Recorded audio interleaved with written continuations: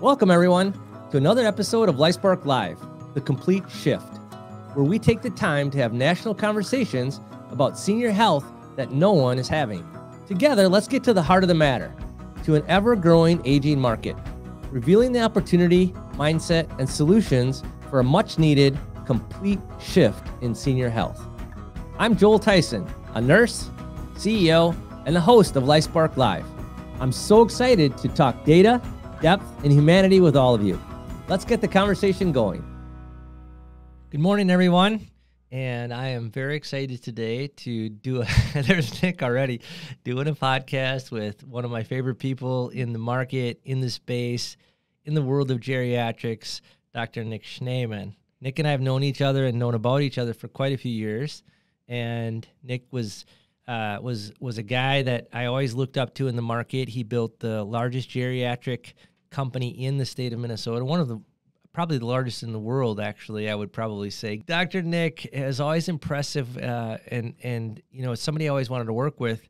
Uh, it just it just worked out. Like things sometimes work out, and what we were really missing was truly understanding geriatric expertise at a medical level. And so when we had the opportunity, we jumped at it with Nick, and we're so happy to have him here. So as we get rolling, Nick, maybe you know from an opening standpoint, what are a few ideas and thoughts that you have about uh, about your experience so far at LifeSpark?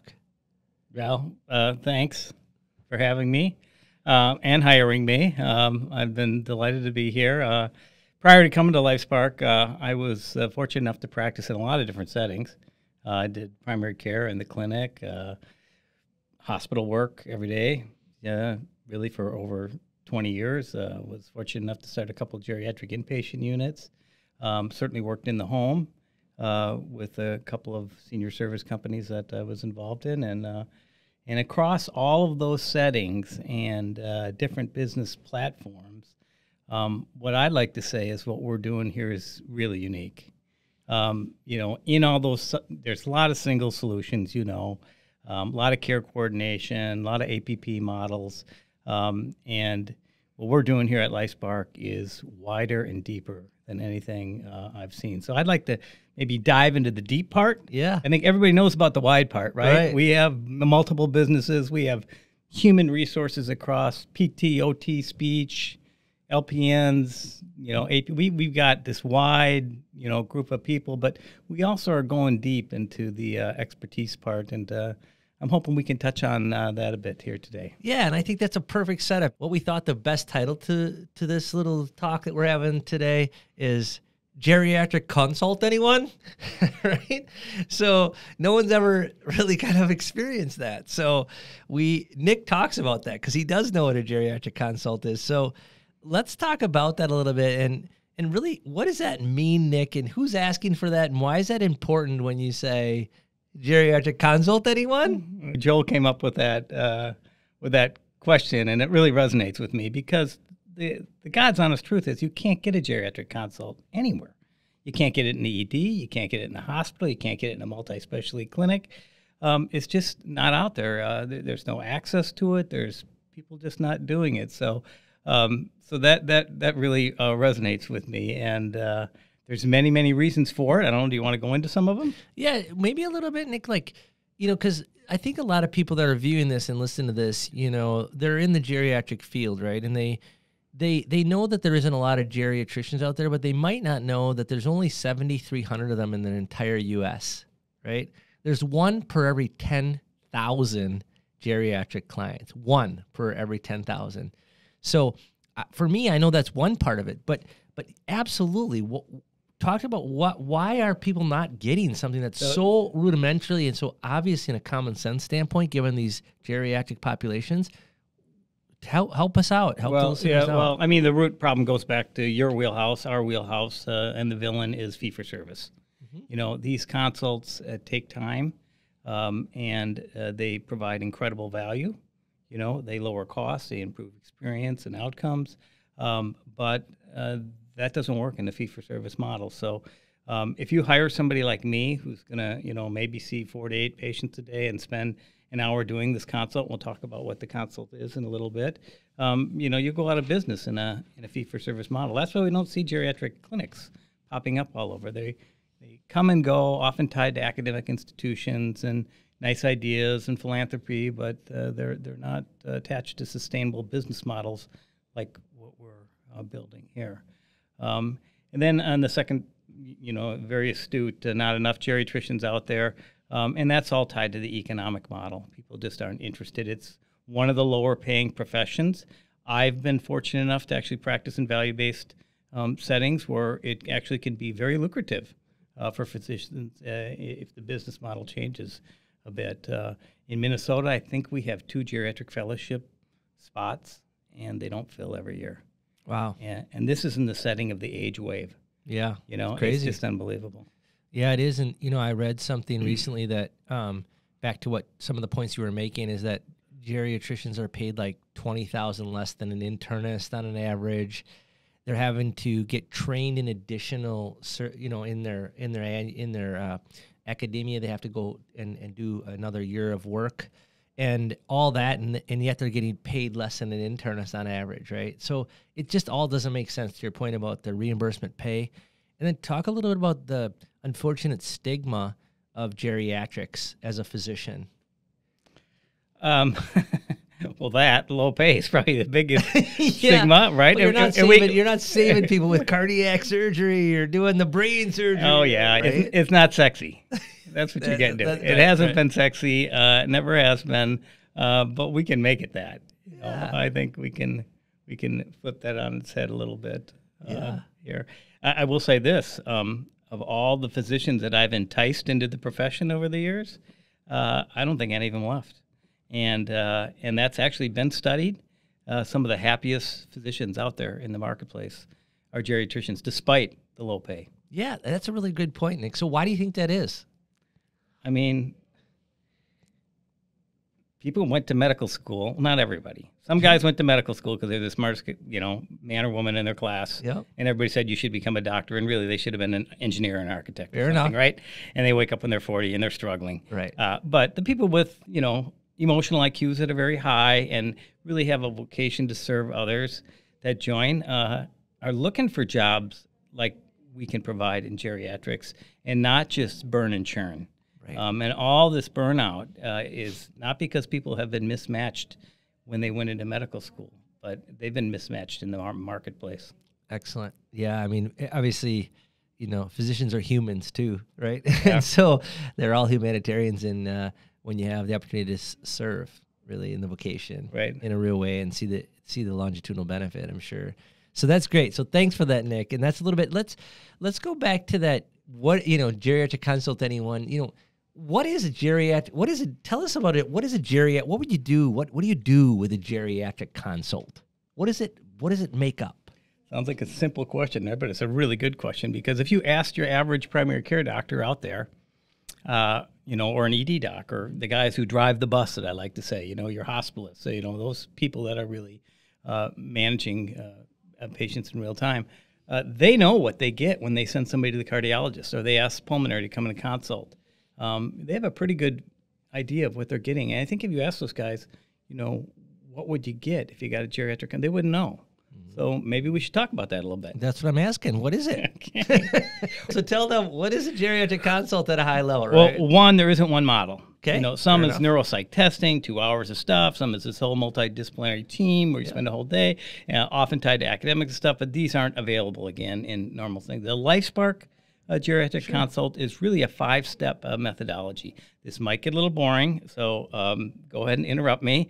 Uh, but the five steps, when I go and see somebody at the request of a primary care physician, one of our life managers or an APP, or based on you know precision engagement scores, however we're identifying these folks, uh, it consists of these five steps: one, storytelling; two, summarize that story, very powerful. We'll talk about that. Three, um, elicit hopes and wishes. You know, uh, four, uh, write an acute care plan for when something happens. And five, uh, review the chronic care plan in light of these new discoveries about what people uh, are going through and what they're hoping for. So, can we start with the first one? yeah, it sounds like it sounds like pretty common sense, but important, right? Yeah. Yep. And it doesn't sound like many people get that because obviously there's so many people that are scrambling and struggling with their experience in home and community and beyond as a geriatric. Completely. person. Yep. So go ahead. And and you can hear those five steps. Can you, Absolutely. could you think you could do those in eight to twelve minutes in a fee for service yeah, not not that, and also not given the fact that a normal primary care experience with a senior is 13 minutes a year by average. 13 minutes a year based on the data. That's how much time a geriatric person is able to spend in a PCP relationship on an annualized basis. So the first step is storytelling, and what that means is um, coaching the client and or their family um, to tell the journey from independence and wellness into complexity, um, and that's different for everybody. Uh, for, for somebody, it might be when dad lost his car keys 10 years ago. Somebody else, it might be, you know, stroke or car accident three months ago. And suddenly uh, life has become really complex. But it's really important to let people tell that story, and you learn a lot. I comb through electronic health records, and I've gotten very good at looking at stuff. When I hear uh, the story from the client and the family's viewpoint, I get incredible insight into what's going on. And so there is some coaching to keep people- on track, Right. You know, um, but you, you get there and you hear about faith, family, and friends. Great. You know, you, you hear about their quality of life uh, currently, those kinds of things. And then once the story's done, you go to step two. And this is kind of a magical step that doesn't happen in healthcare. And it's called summarizing or restating that story. Um, again, hard to do in a brief office visit and take some training to take that 15 to 20, maybe a 30 minute story that you just heard, condense it into here's what I heard you say about mom. You know, back on the farm about eight years ago, she, when you go through the whole thing and then you end with what the current quality of life is, and she's happy every day now, doesn't recognize you anymore, uh, but or you know miserable and uh, you know active wish to die, or it could be very different. Everybody's story is different, but spitting that back to the client and their family is powerful. They feel like they've been heard. Right. And I hear that all the time. This is the first time. This is the first time, you know, that anybody sat down and actually heard this whole thing. and that that matters and i think it's really important because it's it's it's not what you say but what people hear and to be able to push that back in a thoughtful way is really i'm sure i can't imagine like for the first time somebody feels like wow like people are discovering with me and exploring not just telling me what to do and treating me like a patient or a piece of meat right? And i'm not advocating anybody's doing that but it, it becomes depersonalized many times for these people. So i love the the process so that's step two of the cons the geriatric consult what about step three So step three, and the order is super important. Yep. You can't skip around got you because once people have felt like they've been heard, now there's trust already. yep Even if the first first visit, it's amazing. Um, and now you can ask about what they're hoping for, and people will share in a way that they they wouldn't if you just started with that. Um, and so, what are you hoping for? You know, for yourself. What are you hoping for your mother? Um, and they can be very different. And actually, there's good evidence to show that even spouses and children um, don't correlate with what the client is always. that's not surprising Yeah. that's not surprising right Right. So then we get those hopes and wishes out there. Yeah. And then we coach a little bit to, you know, what's realistic. Mm-hmm. You know, what could we really accomplish here? And usually there's a lot. Um, and I've also been super impressed with how Americans choose different things with the same stage illness, the same life complexity, the same perceived or real uh, level of suffering. You know, people really do have different different goals. And Sure. So, Sure. um, so you get that, and that becomes clear then. Okay. Yep. So now we're done with step three. We go to step four. Um, and you can mix up step four and five. Those are the two steps can go either way. And sometimes we don't do it in one visit. Might have to come back for a different one. But step four now is writing that acute care plan. So what are we going to do when the you know what hits the fan? mm-hmm. It's two o'clock in the morning. Mom's on the floor. You know, or fever, and you know whatever it is. We're going to walk through that in a very detailed fashion. You know, are we going to do CPR if somebody experiences natural death? You know, are we going to go to the hospital? What kind of levels of intervention do we do? So all of this is done in advance in a way, in context of story, values, hopes, and wishes, that the plans stick. Um, POLST forms or provider orders for life sustaining treatment, Yep. Which you're very well familiar with. I don't know if our viewers are, but these are orders that go on people's refrigerators or in um, charts in, uh, in medical facilities. um, about what to do in case of an emergency. It's notorious that they don't stick, Right. you know, but inside of the context of this consult, they stick. Gotcha. People really get it, and and these plans are often followed through. So now we're done with the acute stuff, and now we get to but I think it's really a lot of the fun stuff, is um, making sense of the chronic care plan so it fits the picture now. Sure. So, you know, 90 year olds on 15 medications, seeing five subspecialists might be the right plan, but often in context of this consult, it's not the right plan. So, what we'll train our folks to do, and part of being able to do a geriatric consult, is to look at a complicated medication list and unpack it. And uh, we call that indications, efficacy, safety, and cost. So, we go through each medication with the client and or their surrogate um, and uh, and discuss whether it has FDA approval and the weight of evidence to uh, use for the current indication. If it doesn't, does it make sense based on uh, other evidence? Um, and then the efficacy thing does it fit the goals of care and the prognosis? Um, uh, safety issues. Um, physicians are have actually been shown again in evidence to grossly overestimate benefit and uh, grossly underestimate harm, particularly when it comes to frail elderly people Sure, sure. And, and complexity. And so, um, so we're very honest about those things too. And then typically at the end of that uh, intervention, uh, medication list gets smaller. You know, iatrogenic or physician-induced illness becomes uh, less of an issue, Mm-hmm. um, and people often actually thrive Yeah. and get to that magnificent, magnificent life they uh, they really uh, envision themselves uh, even in late life. Yeah, you know, I'm just sitting here listening. That's uh, obviously it's a it's a process, it's a method, it's a it's a humanistic kind of like thing that you'd think would be just like normal in how to help these folks, right? Gosh, You know, doesn't it? I mean, it just seems like you know, you listen, you you you paraphrase it back, you put it into a plan, right? And and I would just challenge you on the acute care plan. I'd say I'd like to call it the preventive or proactive acute, you know, of acuity, right? Instead of calling it acute care, right? Because hopefully you want to work on that. We'll work on that. The pre-acute plan, right? Right. The pre-acute Right. plan. I'd have to bust Nick on that a little bit, right?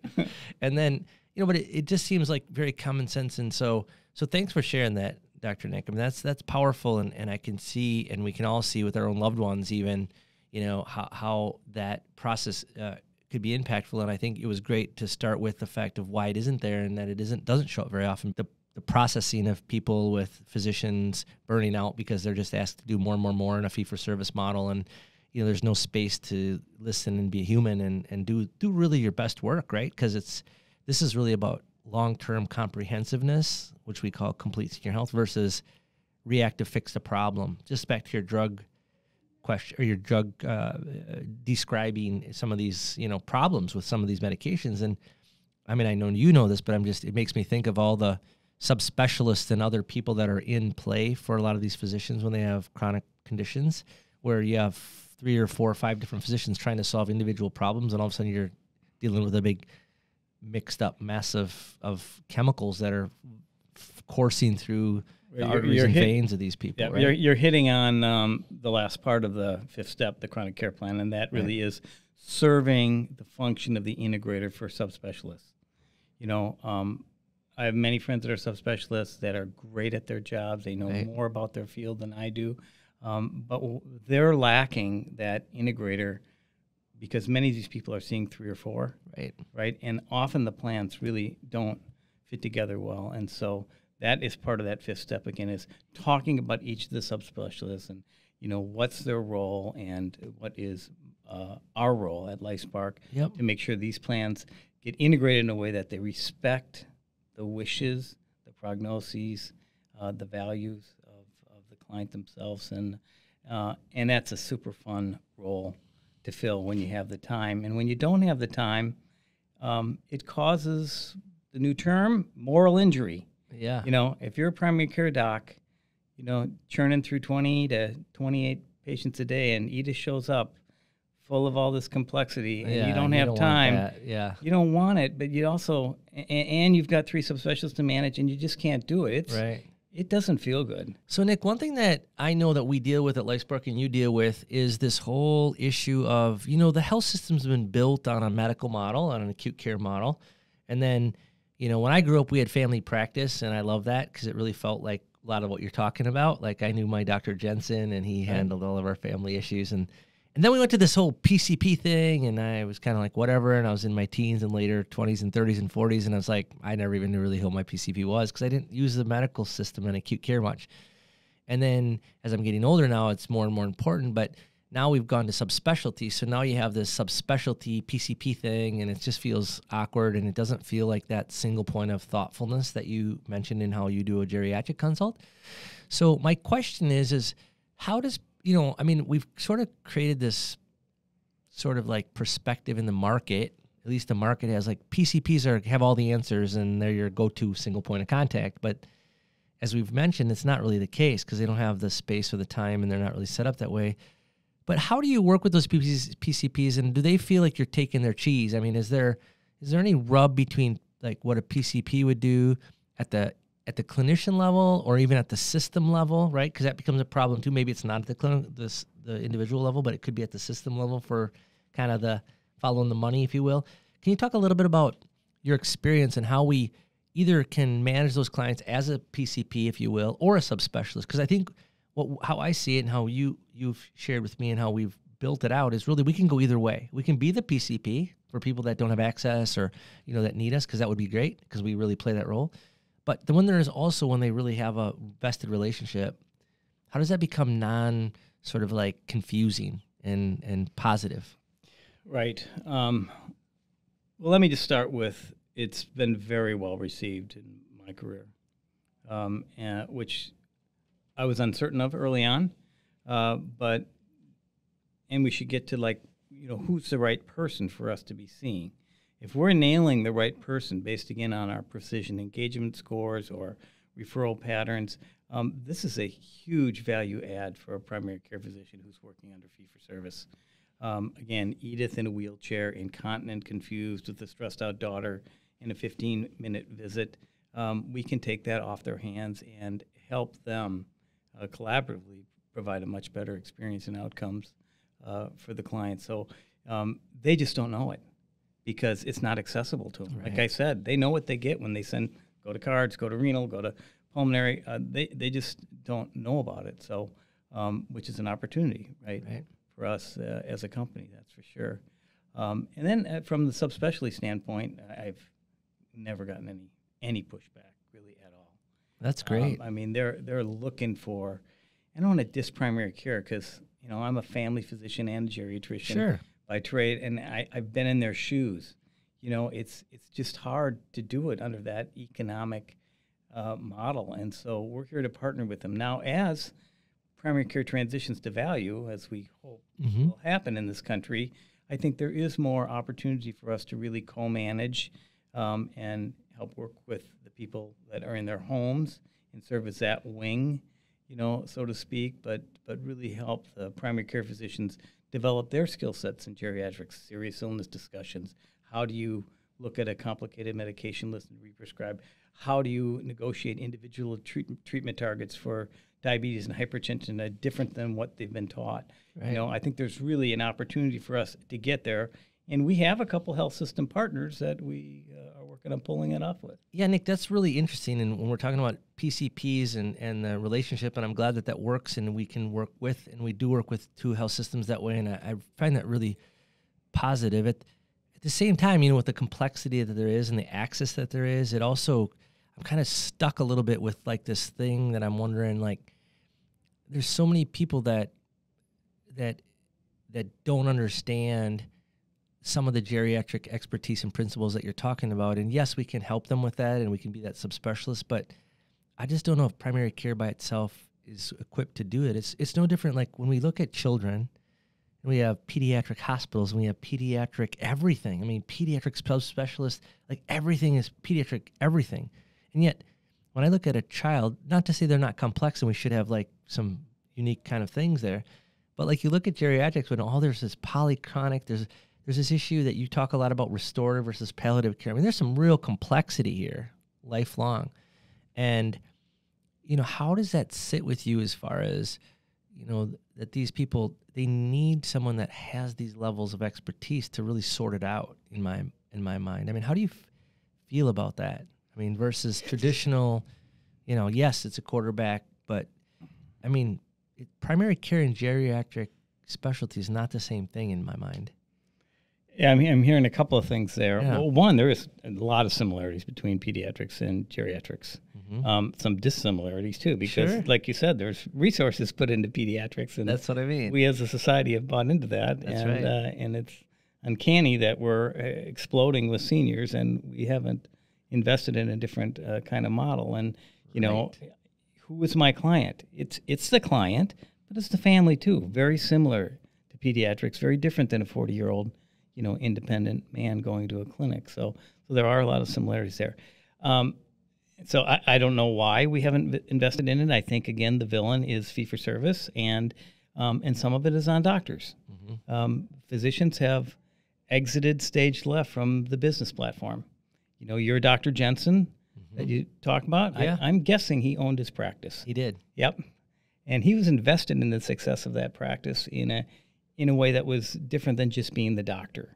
Um, and and that is just isn't true anymore. Ninety percent of the, the uh, primary care docs in the Twin Cities uh, don't have any investment in the business platform. They work often for a nonprofit, you know, uh, healthcare organization and uh, exit uh, training programs. Uh, you know, with the goal of negotiating the best salary and the most time off and benefits, and you know, uh, and and go to work and really aren't. And, and, and so, you know, I think if they could have some light shed on their work environment, they should all be raising their fist and saying, "We are not seeing old people under fee for service." Yeah. You know, and I think that that moment's going to come one of these Yeah, days. Yeah, that's great, Nick. And I, you know, I say this, but I, I want to put everybody even up one level higher at the organizational level. I said, I said you shouldn't be able to be doing, really, if you will, kind of quarterbacking or primary care unless you're in full global risk. I don't think anybody should get get these half baked kind of proposals where they have upside only and all these kind Right. of fee for service little models. performance You should be you should absolutely be in global risk. If you're not willing to take the risk, you don't get the right to be the quarterback. If you do, great, be the quarterback, right? So I think that's interesting, and that gets to be a provocative topic for sure for many out there. And but it, it, it is. Can we pretty- riff on that a little bit? Sure, sure.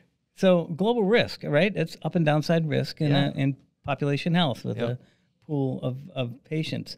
Um, you know, some people worry that well, the doctors now is just going to not give me medicine and not send me to the surgeon to save money and that kind of stuff, right?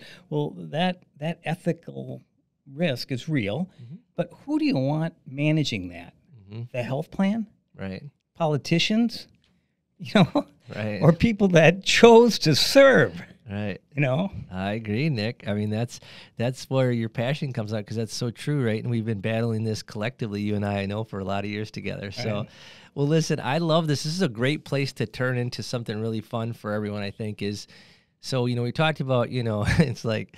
You know, geriatric consult anyone, right? So we've talked about what that means, what that looks like, how it works, you know, why there isn't a lot of it, right? Why we're doing what we're doing, right? As a company, we're trying to change that, right? And we're doing it in kind of a, if you will, some of the reasons why is we do have an, you know, everybody likes to be an ist these days, but it's kind of an ageist thing, right? Because we don't value our seniors, right? Like really highly. We value our kids, right? But we don't. Kind of the old people, they go to the old folks' home, they kind of have problems. They have a hip, you know, fall, break a hip, and they, they, you know, they die, right? That's just kind of the age old story. But we don't think that's cool, right? Because we lose all that wisdom and all that passion and all that family and community with our seniors, and we need to make sure they're healthy, not sick and we got to get on the side of health, which is population health. So I think we covered all that ground.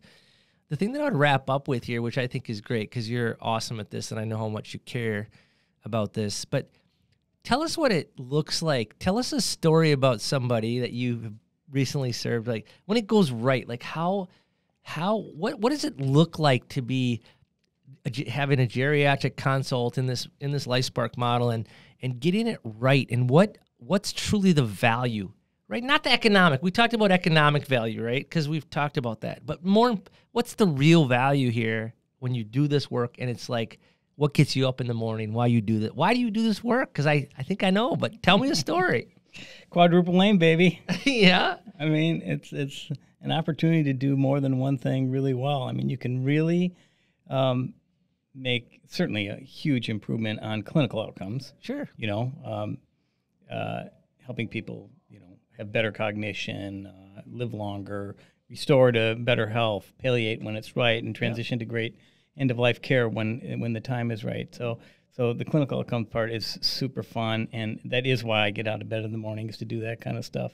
Uh, not the executive stuff so much, uh, and uh, uh but then also improve the experience for you know the family. I mean, even if you have a good clinical outcome, sometimes it can not not feel like it was very caring or a very good you know experience for families and their their loved ones. Um, and then the workforce. I'm very passionate about the workforce. Yep. And you know, people who chose nursing, physical therapy, you know, become a doctor, whatever, you know, did it because they want to help folks, and um, and they leave those training programs uh, very idealistic. And again, uh, 20 years later, moral injury. You know, they are burning out and not being able to do what they can do. And you know, here at Lifespark, we're providing a vocational opportunity. I think that can help them uh, avoid that piece. And and and then you know, the last part is doing our part to lower uh, cost uh, to help make Medicare work. Yeah, uh, sure. I think is uh, is pretty cool too. You're talking about a ta- as a taxpayer, but so that's awesome, and that's really the, the the the pieces and parts. But what I let me ask this again. So tell me a story about Bob or Millie or Jenny. What does it look like to them? All right. So Mary's uh, uh 88 years old. Um, survived ovarian cancer, uh, including a recurrence 10 years ago, and about five years ago she started showing some cognitive impairment. Um, Lifespark's not involved. Uh, we get engaged uh, within the past year with the life manager. Uh, doing some co-management with uh, external providers, and uh, Mary is just failing. She's been in the hospital a few times, uh, and people really think it's time for hospice for her, which it, it may be. Um, she has been overtreated with antibiotics inappropriately for something called asymptomatic bacteriuria. She doesn't really have bladder infection. She's just positive urine cultures every day of her life uh, gets C. diff colitis from it. I mean, life is just going down the tubes, and she and her husband are struggling to keep her in their home. And so the life manager uh, uh, brought us in to do a consult, and we did the five geriatric step, consult. Geriatric oh, consult. Geri- oh, one of those geriatric in their home in their too. Home. Yeah, yeah, with, in it's their excellent. Okay, yeah. So okay, so yeah, so you do that. So it sounds like a crap show so far, Yeah. literally, So right? We, we do the five So thing, and we hear the whole thing. story. Yeah, you know, yeah, from tell me. Oh, that's great. from so, surviving. so far, you it's know, not so good. I'm not feeling empowered yet, life-threatening yeah. illness, uh, ovarian cancer, into her uh, into her dementia, which nobody has labeled. You know, she's got Alzheimer's. Nobody's labeled it, uh, and now uh, you know she's on 12 medications, being overtreated for hypertension, and people are ready to uh, give up on her. She's sleeping 20 hours a day, can't walk anymore in a wheelchair. Uh, fast forward two months later, she's playing bridge with her friends. I mean, there's a lot of detail in Okay, there. no, look, you just jumped. You hyper- and it was a team. It's not right me. I It's know, not but- me. It's the whole You team. So you did that geriatric consult. You did that plan, and then how did it morph over? Then tell me about the bridge. But how did it? So morph? we to- uh, heard the story. Yeah. Spit it back. yeah, Build trust right away. Yeah. What are you hoping for? yeah, Got empowered to manage sub subspecialist. yes. Got empowered to change the medication. So she, we actually added one too. Uh, I found out she was in atrial fibrillation and probably was having little TIAs uh, along the way Okay, here too. and so started started around Yes. anticoagulated, reduced all of her other medications. She got stronger. Uh, walking around, mentation improved, got back to playing cards with her friends. Uh, I mean, it, you know, so we restore people. This is not just a palliative care end of life how did her family program at Life What about her family? How does her family? See, this is a woman that was basically heading south. Yes. She was heading south. She, She was south. She was south. She was yeah. She was south of the border, right? And you pulled her back. We- of we her- pulled her back. Yes. What I love that. All these hope doors cl- were closing for her and her family, and all of a sudden now, like you said, this woman is playing bridge. Yeah. She still got Alzheimer's, Yes. but so her what? life is so much She's better, happy. and her husband too is can care for her. And how he- does her he's not family- going to see how her does in the nursing family home. feel that we're probably just thought this is it for her, right? They're they're Lifespark fans. yeah, yeah, say the least, right? Right. See, Nick is modest. So, I mean, this is life changing. Like, this is why we do geriatric consult. Right. This is why we we have to really work as interdisciplinary teams for real. People say that as you know it's lip service, right? But at Lifespark, we're working really hard, and Nick's working really hard with our teams to build this truly integrated approach where it's not just one or the other. It's not being righteous or right. It's not being you know, there's like you said, there's a there's a life manager, there's NPs, but there's also MDs. It's not just an NP model, and I shouldn't say just, but this is a concentration of it's- expertise and licensure that that really puts this in a whole different mindset of complete senior health for these It's- people. And it's it's- what you sh- what you just shared. I think is important for people to understand that it doesn't always work out to people playing bridge, but it will always work out to the best outcome. Right. Well said. Well said. So I think that's awesome. And I don't have anything else, Nick, because I'm always inspired by you. And I just want to thank you today for being on the podcast. And more importantly, want to thank you for being a true geriatrician that's committed to the profession and committed to humanity. So thanks for that. Thanks, Bill. All right. Thank you.